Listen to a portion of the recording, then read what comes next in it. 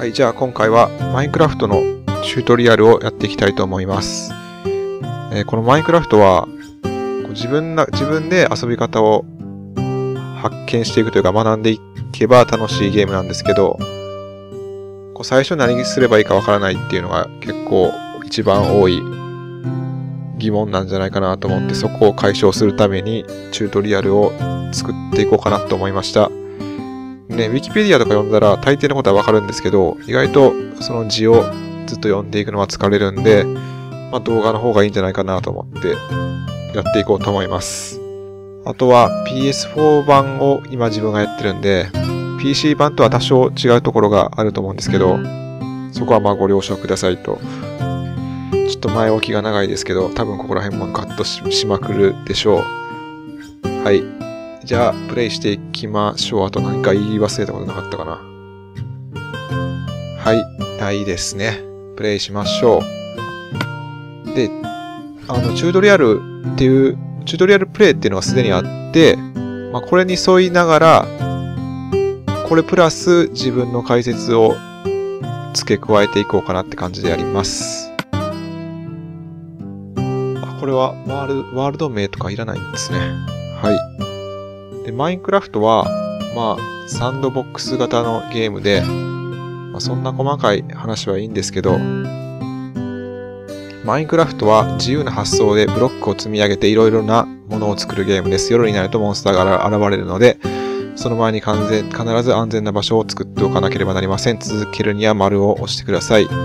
で、えーっと、画面の説明をしましょうか。スティックで、えー画面、カメラを動かして、これで動き回れますみたいな。で、ダッシュは2回倒してっていう感じで、ここら辺はまあ、簡単なジャンプもできます。で、えっと、この右下に映ってるのが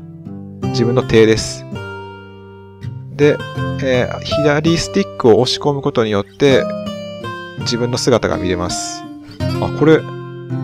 あ、チュートリアルも自分のワールドの、すでに作ってるワールドと同じ格好なんですね。まあ、これナース姿にしちゃったんですけど、これは自分が帰ってるんでね。で基本的にはこの視点でプレイをしていきます。で、えっと、ちょっと待ってくださいね。で、えーっと、このハートマークが体力ですね。で、右の肉のマークが空腹ゲージですと。で、体力を回復するには、この空腹ゲージが満タンの状態だと、えーゆっくり徐々にハートマークが回復するんですけど、今、満腹状態じゃないんで、えー体力は回復しないっていう感じです。で、この今四角の部分がアイテムリストです。で、えっと、太陽が、こう、東から昇ってきて、西に沈んでいって、で、夜になるとっていうか、暗、周りが暗くなると、モンスターが湧くので、その前に、えー家を作って、モンスターが襲ってこないようにしましょうっていう、最初、第1日目は、それですね。で、そう、こうやって、